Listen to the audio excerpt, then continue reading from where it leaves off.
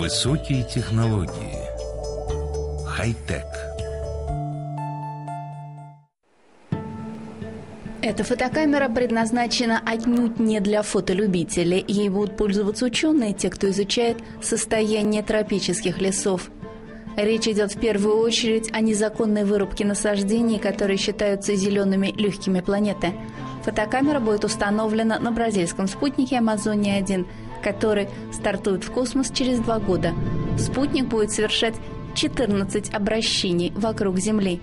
Главный интерес – леса, расположенные в русле Амазонки, и растительность на африканском континенте, в частности, лесные массивы в Кении. Фокус объектива способен охватить площадь, равную примерно 90 квадратным километрам.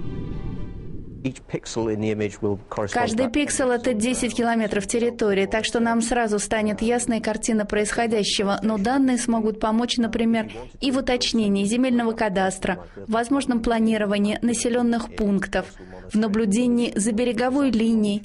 А кроме того, мы сможем вести мониторинг состояния сельскохозяйственных угодий и пастбищ, если в этом появится необходимость.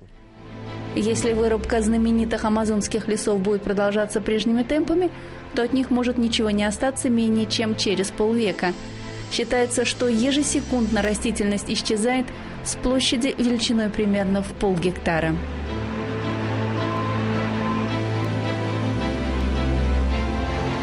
Разработка фотокамеры – пример того, как высокие космические технологии решают сугубо земные проблемы. В данном случае ученые уверены, что сведения, полученные с помощью спутников, сыграют важную роль в природоохранных мероприятиях.